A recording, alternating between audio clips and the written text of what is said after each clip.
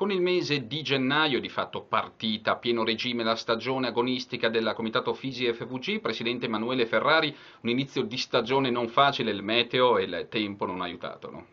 Ma sicuramente questo inizio di stagione è stato molto, molto difficile e particolare e le preoccupazioni erano veramente molte, e non solo per quanto riguarda l'organizzazione delle gare, ma, ma, naturalmente anche perché uno dei nostri principali compiti e obiettivi è quello di permettere ai nostri atleti eh, di prepararsi nel migliore dei modi. È chiaro che la prima fase è stata molto difficoltosa, però insomma si sono trovate delle soluzioni valide e mi fa veramente piacere nel vedere che adesso, eh, con i primi giorni di gennaio, diverse località eh, hanno garantito l'innevamento e quindi anche la possibilità per i nostri atleti di fare gare.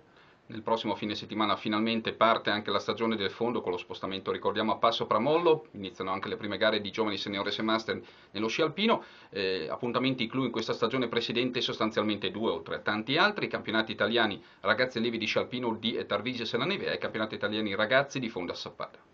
Sì, condivido e finalmente anche tutti gli appassionati, quelli più grandi, potranno anche loro cimentarsi e raccogliere i frutti di, di tutta la preparazione che hanno fatto perché sono convinto eh, erano, erano, in attesa di questo, di questo, momento e quindi tutti sul passo Bramollo potranno confrontarsi nel migliore dei modi. Per quanto riguarda le due importantissime manifestazioni che, che abbiamo qui in Friuli, eh, confermo eh, siamo tutti in attesa di questi due grossissimi appuntamenti, quindi sia i campionati italiani di sci alpino allievi ragazzi di Tarvisio, ma non di meno importanza anche i campionati italiani eh, di sci di fondo, eh, sempre per gli allievi ragazzi eh, su a Sappada. Quindi invitiamo tutti gli appassionati a essere presenti e a, a tifare per i nostri ragazzi del Comitato Friuli Venezia Giulia.